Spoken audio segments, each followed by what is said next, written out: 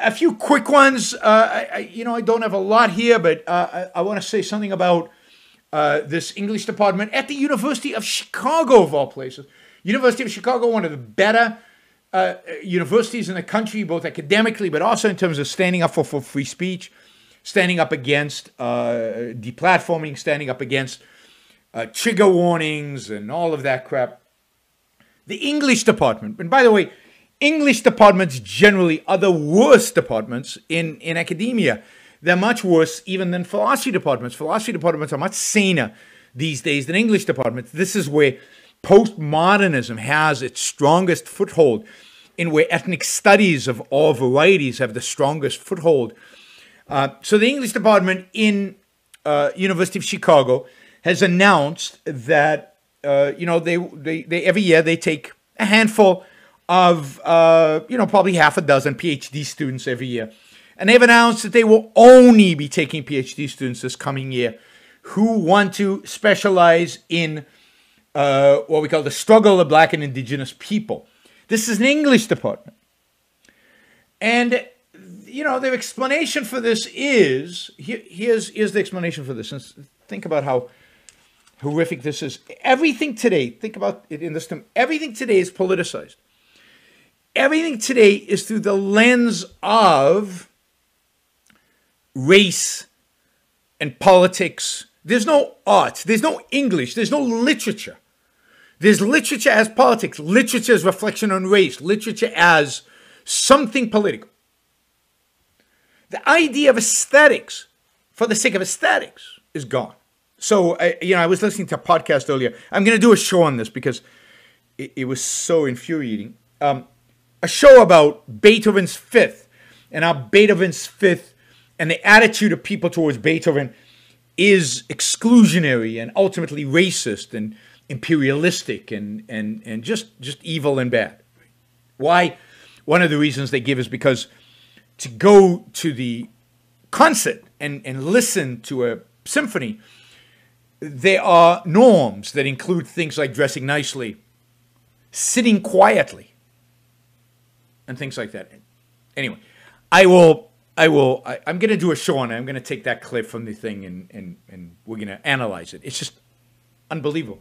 Anyway, this is what the English department writes. They write, "quote English as a discipline has a long history of providing aesthetic rationalization for coloni- colonization, exploitation, extraction, and anti-blackness." Our discipline is responsible for developing hierarchies of cultural production that have contributed directly to social and systemic determinations of whose lives matter and why.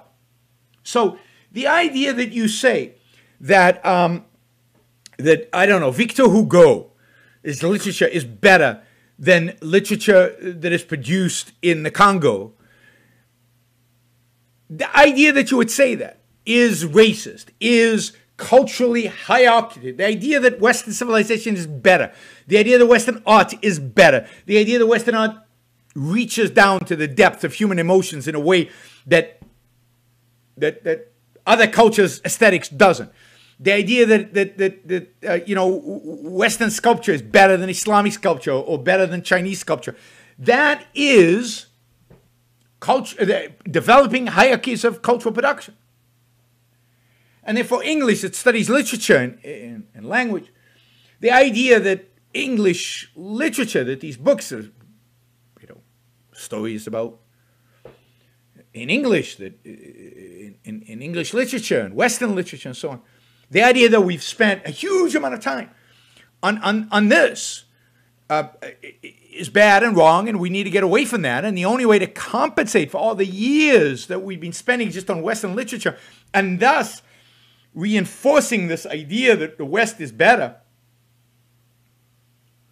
the only way to do that is to focus our attention now on black studies. Now, it's not that they don't have a, a, lot of black studies already, but we need to now focus it all on black studies so that we can overcome. It's like affirmative action, right? There was indeed, but the difference in affirmative action, it's it's a backlash against something real. There was racism, there was all this, so now we have to correct it by hiring more blacks in order to in order to correct this, right? So now we have to study more, I guess, black literature even if it's inferior. And, and just me saying black literature that might be inferior is obviously, according to them, racist, because how could it be? How dare I even make?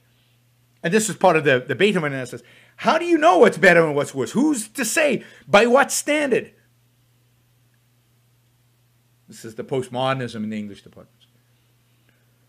And they write, they, they continue writing, and while inroads have been made in terms of acknowledging the centrality of both individual literary works and collective histories of racialized and colonized people. So they've already put a lot of work into this. There is still much to do as a discipline and as a department to build a more inclusive and equitable field for describing, studying, and teaching the relationship between aesthetics, representation, inequality, and power. See how everything is power? What is power? What is the essential of power? That's politics. What they mean by power is not economic power, though they confuse economic power with political power. What they mean by power is political power, the power of the gun. Everything for them, every experience, every human interaction, everything is politics. So, this is what you get.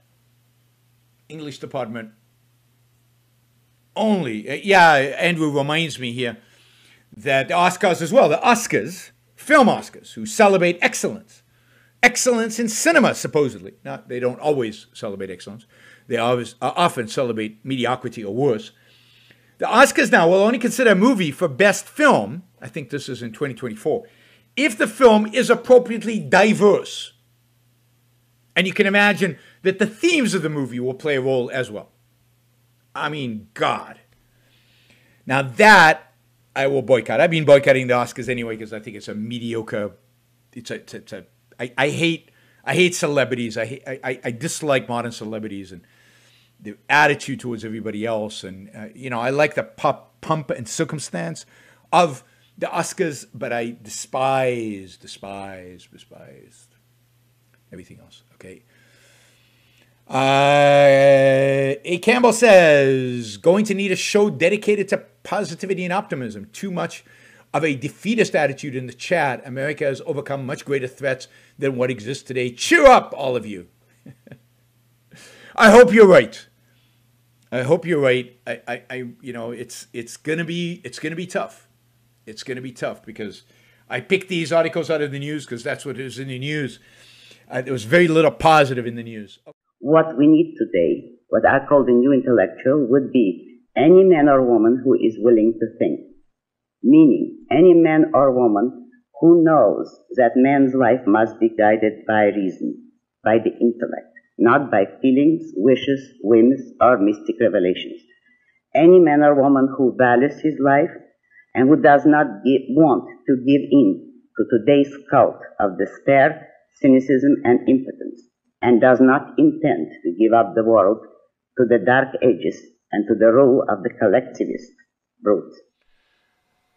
All right, before we go on, reminder please like the show. We, have got 163 live listeners right now, uh, 30 likes.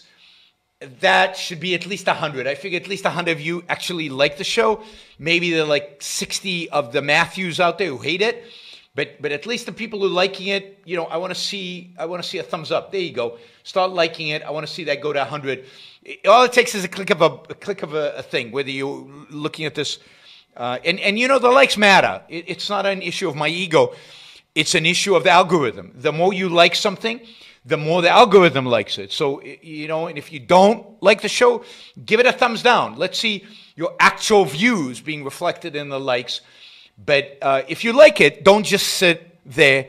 Help get the show promoted. Of course, you should also share, and uh, you can support the show at yaronbrookshow.com slash support or on Patreon or Subscribestar or Locals.